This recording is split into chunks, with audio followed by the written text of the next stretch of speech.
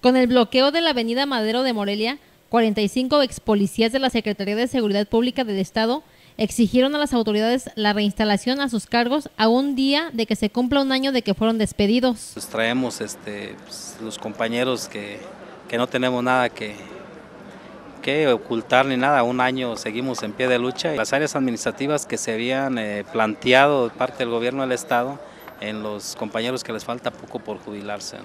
Los manifestantes aseguran que su destitución de la dependencia estuvo llena de irregularidades, ya que en su acta de despido se justifica la no aprobación de los exámenes de confianza, cuando ellos tienen documentación que acredita lo contrario.